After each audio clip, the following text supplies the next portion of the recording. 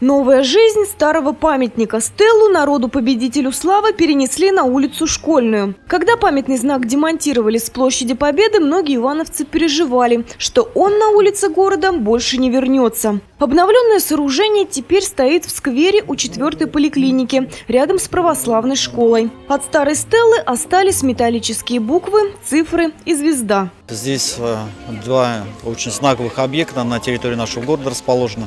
Это четвертая поликлиника и школа, э, в которых во время войны располагались э, военные госпиталя. Здесь воины, получившие тяжелые ранения в годы Великой Отечественной войны, проходили лечение. И памятный знак в соответствии с решением городской думы был перенесен с площади 40-летия Победы. Открытие стелы пришлось на памятную для всех граждан нашей страны дату – 22 июня.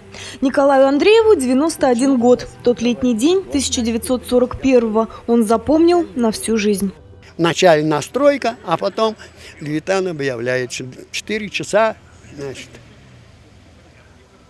что я увидел, вот не хватает слов описать это – Побежали все в разные стороны. Кто говорит, побежим за спичками, кто-то говорит за мылом. Дедушка бабушке говорит, пойдем за керосином.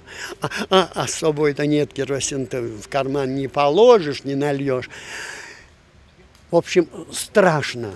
Вспомнить о том страшном дне могут уже немногие. Зато в памяти каждого навсегда останется светлый подвиг миллионов людей, которые 22 июня 1941 года были молоды и еще живы. Елена Белова, Олег Мелехин, РТВ Иванова.